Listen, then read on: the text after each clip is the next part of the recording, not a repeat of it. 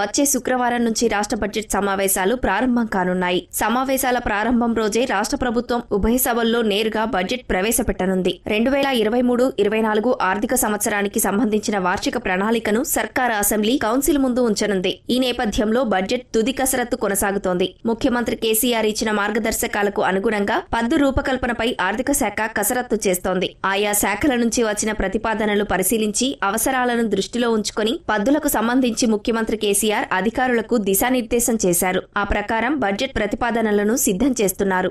సంక్షేమం ప్రభుత్వ ప్రాధాన్యత పథకాలు ఎన్నికల హామీల అమలు అంశాలకు వార్షిక ప్రణాళికలో పెద్దపీట వేయనున్నారు. సొంత జాగలో ఇల్లు నిర్మించుకునే వారికి మూడు లక్షల రూపాయల ఆర్థిక సాయం రెండు వేల పద్దెనిమిది ఎన్నికల సమయంలో ఇచ్చిన హామీకి లోబడి రుణమాఫీ పూర్తి చేయడం తదితరాలకు నిధుల కేటాయింపు చేయనున్నారు. రైతు బంధు దళిత బంధు రైతు బీమా నీటిపారుదల ప్రాజెక్టులు కళ్యాణలక్ష్మి షాదీ ముబారక్ ఆసరా పింఛన్లు ఇతర సంక్షేమ కార్యక్రమాలు పథకాలకు బడ్జెట్లో సింహభాగం నిధులు కేటాయించనున్నారు. వచ్చే ఏడాది అవసరాలను దృష్టిలో దృష్టిలో ఉంచుకొని ఆయా శాఖలు కార్యక్రమాలకు పద్దు కేటాయించనున్నారు. ఎన్నికల ఏడాది కావడంతో పూర్తిగా ఆ దృష్టితోనే బడ్జెట్ కేటాయింపులు ఉంటాయని భావిస్తున్నారు. అందుకు అనుగుణంగానే నిధుల కేటాయింపు జరిగే అవకాశం ఉంది. ఆర్థిక శాఖ అధికారుల కసరత్తు అనంతరం ముఖ్యమంత్రి కేసీఆర్ మరోమారు బడ్జెట్ పై సమీక్షించే అవకాశం ఉంది. ఆ తర్వాత బడ్జెట్ ప్రతిపాదన ఖరారు చేయనున్నారు. బడ్జెట్ ఆమోదం తెలిపేందుకు రాష్ట్ర మంత్రివర్గం గురువారం సమావేశమయ్యే అవకాశం ఉంది. వచ్చే ఏడాది కోసం ఆర్థిక ప్రణాళికపై చర్చించి మంత్రివర్గం ఆమోద ముద్ర వేయనుంది.